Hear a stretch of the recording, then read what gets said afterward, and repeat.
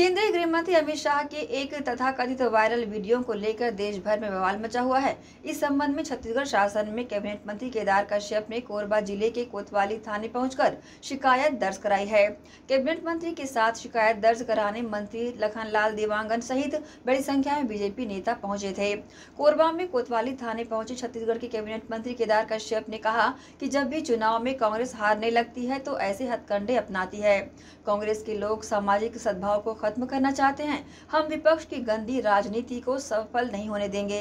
चाहते हैं कि मोदी जी फिर से प्रधानमंत्री बने ताकि हमारा देश सुरक्षित रह सके।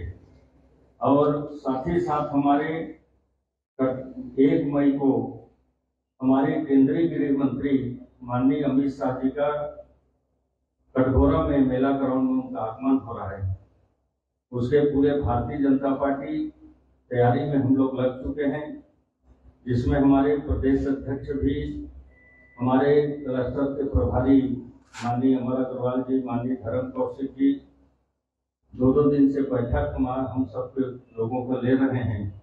और साथ ही साथ उस तैयारी के संबंध में आज हमारे प्रदेश के प्रभारी, माननीय नितिन नवीन जी, जो बिहार सरकार में मंत्री हैं, हमारे संगठन के महामंत्री माननीय पवन साय जी भी अभी सात बजे का थोड़ा में हम सब लोगों का बैठक लेकर तैयारी के बारे में जानकारी लेंगे और हम लोगों ने पूरा तैयारी के साथ में अमित शाह जी के कार्यक्रम को सफल बनाने के लिए भारतीय जनता पार्टी के हमारे बूथ से लेकर पूरे संगठन उस तैयारी में लगा हुआ है और हम लोग उनका कार्यक्रम को भव्य सफल बनाने जा रहे हैं।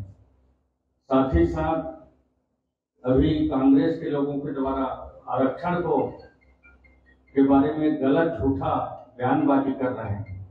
उसके संबंध में एक मुख्यमंत्री जी के ऊपर एफ़ आई दर्ज हो चुका है और आज कोरबा जिला में भी अभी हम लोग थाना में पहुंचकर उनके खिलाफ पर एफ़ आई दर्ज कराएँगे।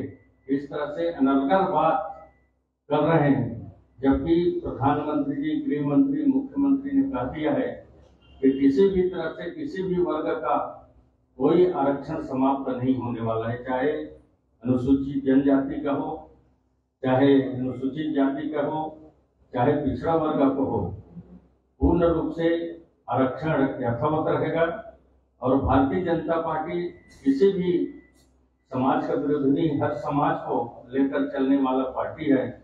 इसलिए हमारा नारा है, सबके साथ, सबके विकास, सबके विश्वास, सबके साथ को साथ को लेकर भारतीय जनता पार्टी चलने का प्रयास कर रही है। और निश्चित तौर पर मैं चाहूँगा कि अमित शाह जी के जो हमारा एक तारीख को कार्यक्रम है, आप लोग ज़्यादा से ज़्यादा आप लोग से निवेदन आग्रह करता हूँ, उसको प्रसारित करेंगे। और ज़्यादा से ज़्यादा हमारे कोरबा लोकसभा के, चाहे हमारे कोरबा जिला के चारों विधानसभा को, चाहे हमारे बैकुंठपुर हो, चाहे मरवाही हो, चाहे भरतपुर सोनहत हो, चाहे कोरिया का अपना विधानसभा सभी जगह से लोग आए, हमारे भी कोरबा से रामपुर हो, कोरबा हो, कटघोरा हो, कटघोरा में तो कार्यक्रम हो रहा है तानाकार पाली तानाकार सब जगह से आए।